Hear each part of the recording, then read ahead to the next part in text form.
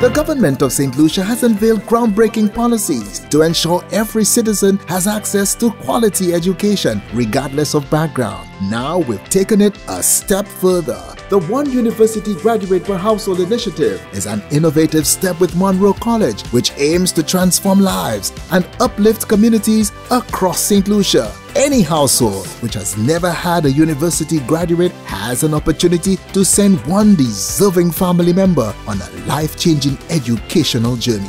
That's not all.